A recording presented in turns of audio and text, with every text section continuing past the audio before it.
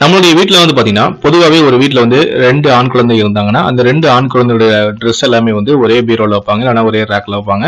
ரெண்டு பெண் குழந்தைங்க இருந்தாங்கன்னா அந்த ரெண்டு பெண் குழந்தைகளோட ட்ரெஸ் எல்லாமே வந்து ஒன்றா சேர்த்தே வந்து ஒரே இடத்துல வைப்பாங்க. இல்லைன்னா வந்து ஒரு பையனும் ஒரு ஒரு பொண்ணும் இருந்துச்சுன்னா பையனோட துணியை வந்து அப்பாவோடையும் இப்போ பெண்ணோட துணியை வந்து மகளோடையும் சேர்த்து வைப்பாங்க.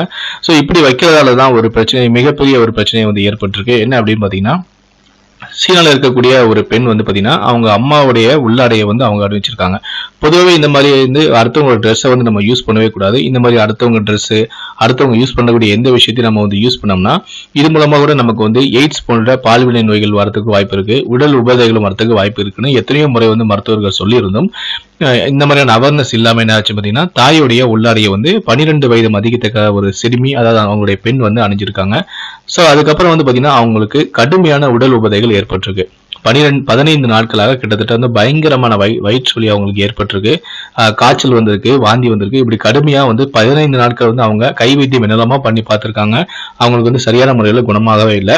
பதினைந்து நாளுக்கு அப்புறமா தான் வந்து பார்த்தீங்கன்னா அந்த குழ- பன்னிரெண்டு வயது குழந்தைய வந்து அவங்களுடைய பெற்றோர்கள் வந்து ஆஸ்பத்திரி கூட்டு போயிருக்காங்க. அப்போ வந்து பரிசோதனை செய்யும் போது தான் அந்த பன்னிரெண்டு வயது குழந்தைக்கு வந்து பார்த்தீங்கன்னா பெல்விக் இன்ஃபிளமேட்டரி டிசீஸ் அப்படிங்கிற ஒரு நோய் இருக்கிறது வந்து டாக்டர் வந்து கண்டுபிடிச்சிருக்காங்க. இது என்ன நோய் அப்படின்னு பார்த்தீங்கன்னா அந்த பெண்ணுடைய கருமுட்டை குழாய் ஃபெலோபியன் டீப்னு சொல்லுவாங்க இங்கிலீஷில். அந்த கருமுட்டை குழாய் வந்து நீரால் வந்து அடைக்கப்பட்டிருக்கான். ஸோ அது வந்து நீர் மூலமாக வந்து அடைக்கப்பட்டதால தான் உங்கள் பெண்ணுக்கு வந்து இந்த மாதிரியான கடுமையான வந்து ஒரு வயிற்று வலி ஏற்பட்டிருக்கு. அது மட்டும் இல்லை இந்த கருமுட்டை குழாய் வந்து பயங்கரமா வந்து சேதமடைஞ்சிருக்கு. இந்த அளவுக்கு வந்து ஒரு சி- சின்ன வயசு குழந்தைக்கு சேதமடைகிறதுக்கு என்ன காரணம் அப்படின்னு மருத்துவர்கள் எல்லாம் குழம்பி போயிருக்காங்க.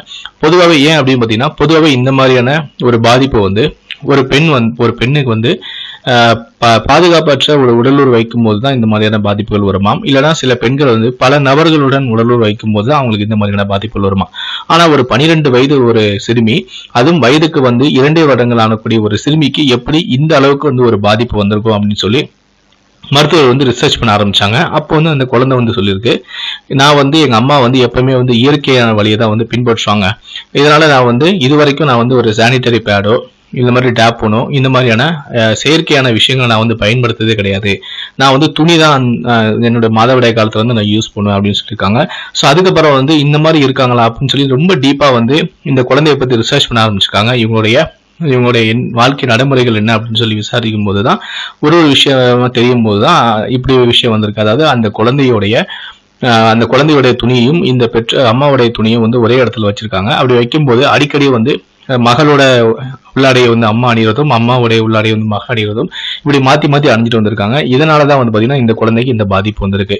இவங்களுடைய அம்மாவுக்கு வந்து பார்த்தீங்கன்னா சில நாட்களுக்கு முன்னாடி யோனி அலர்ஜியால் வந்து அவங்க பாதிக்கப்பட்டிருக்காங்க. ஸோ அந்த காரணத்தினால தான் அந்த அம்மாவுடைய உள்ளாடையை வந்து இந்த பெண் அணிஞ்சதால தான் இந்த பெண்ணுக்கு வந்து இந்த மாதிரியான பாதிப்பு வந்திருக்கு அப்படின்னு கண்டுபிடிச்சிருக்காங்க.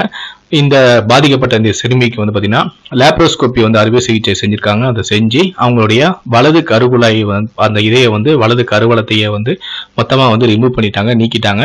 ஏன்னா அது வந்து அந்தளவு சேதமாயிட்டு அதுக்கப்புறம் அதை ஒன்றுமே செய்ய முடியாது. எவ்வளவோ முயற்சி பண்ணி பார்த்துருக்காங்க. ஆனால் அவங்களால வந்து பழைய நம்பிக்கை கொண்டு வர முடியல. ஸோ இதனால் வந்து இடது பக்கம் இருக்கிறதும் பாதிப்பு வந்துருமோ அப்படின்னு சொல்லிட்டு வலது பக்கம் இருக்கிறது வந்து முற்றிலுமா வந்து அவங்க நீக்கிட்டாங்க. ஸோ இப்படிப்பட்ட ஒரு கொடூரமான விஷயம் வந்து அரங்கேற்றிருக்கு. ஸோ முடிந்த அளவுக்கு இந்த வீடியோவை எல்லாத்துக்கும் வந்து ஷேர் பண்ணுங்க ஒரு அவேர்னஸை கிரியேட் பண்ணுங்க. அடுத்தவங்களுடைய உள்ளாடைகளை நீங்க வந்து யூஸ் பண்ணதை வந்து அவாய்ட் பண்ணுங்க. நன்றி.